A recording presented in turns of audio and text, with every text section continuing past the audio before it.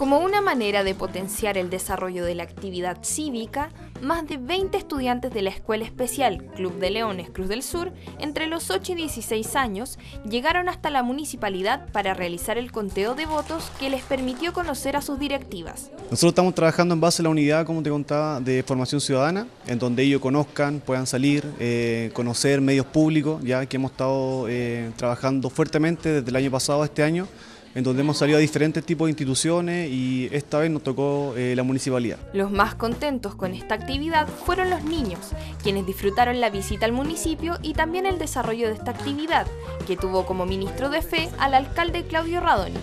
Aplaudieron cada voto y celebraron a las directivas escogidas. Esto es una actividad para que nosotros aprenamos cómo hacer una carne acá en Punta Arenas y también es una buena actividad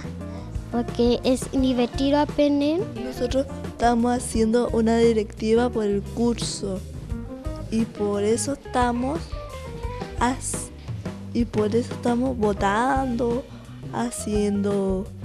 votos por la directiva del curso. Ver estos chicos que han venido a la municipalidad para hacer un acto solemne, para ser ministro de fe, para mí fue un, un honor que me, hayan, que me hayan pedido justamente cumplir este rol, pero yo estoy muy agradecido porque el ejemplo que han dado es, increíble.